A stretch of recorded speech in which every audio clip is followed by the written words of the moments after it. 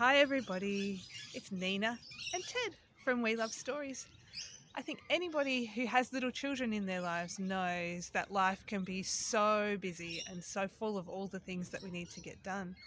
And the trick is to try and find little moments of joy and connection with the little children in your life.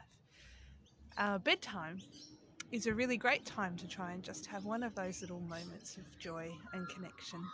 And this is a nice one to do at that time when you're trying to get your children off to sleep and soothe them. So it's a song about rain. Pitter patter, pitter patter, rain is falling down. Pitter patter, pitter patter, falling on the ground.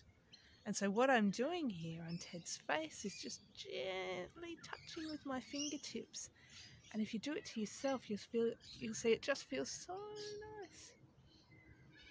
Pitter patter, pitter patter, rain is falling down.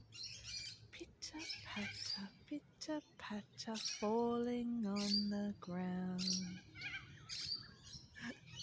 Enjoy. See ya.